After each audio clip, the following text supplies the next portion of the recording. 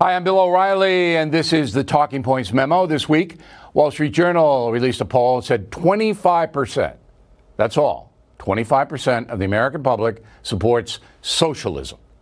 No surprise. Do you know any socialists? Anybody on your block, in your neighborhood? no, I don't know any.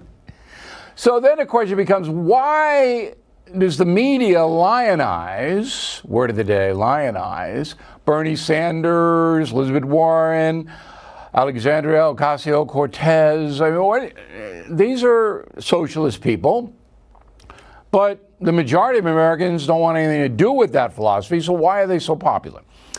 The answer to that question is, as they say, complicated. Okay. There is no question that the national media leans left. Would everybody agree with that? Any dissenters? That's what I thought. They also despise Donald Trump to the tune of about 85% in national media. And they love Barack Obama. With me so far? Any anybody disagreeing with any of that? Okay. Barack Obama wasn't a socialist but his policies were geared to bigger government control over your life. Obamacare. All right, so he tried to sell it, the president did. So look, this is not a big deal. You're going to be able to keep your doctor and your and your uh, health insurance and get what you want, what you've always had. Turned out to be false. If you uh, enrolled in the Obamacare programs, government basically told you what you had to do and who could treat you. All right. So Barack Obama wanted government control over the U.S. health system.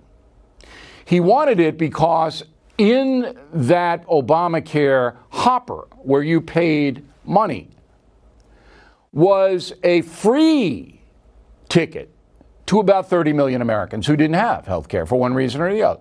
They couldn't afford it, subsidize it, they didn't make enough money, whatever it may be. So Barack Obama said, look, that's not fair. Everybody should have health care. It's a human right, a constitutional right. All right? It isn't a constitutional right. It might be a human right. It's a debate, but not a constitutional right. So that's where this started, this whole thing. And the national media supported Obamacare big time. So now the national media knows that this is not going to become a socialist country, that the government's not going to take over the private economy. But it wants, the media wants, big government to call the shots on many things education, all right, entitlements, housing, social justice. And all of the socialistic programs play right into that because the government controls them. So it's not so much the Washington Post, the New York Times, NBC News. These people are affluent people. They don't want Bernie Sanders coming in and taking their furniture after they die. They don't want that. But what they do want is more federal power given to the government. And they don't want somebody like Donald Trump having the ultimate power, which is why I'm trying to destroy him, send a message to anybody else who might try it. Hey, if you're going to break into our system, we're going to put you in prison. That's what they want to do to Donald Trump is put him in prison.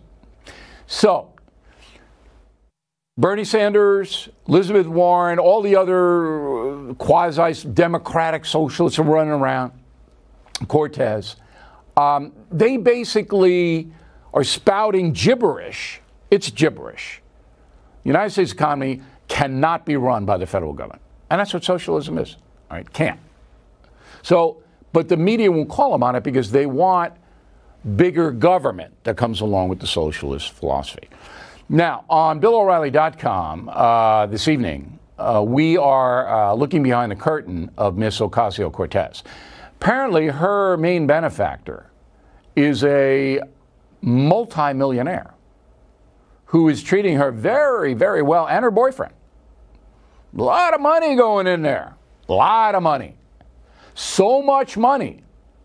There's been a complaint filed with the Federal Election Commission that says the multi millionaire running Congressman Cortez diverted close to a million dollars to an entity that he should not have because it was campaign money.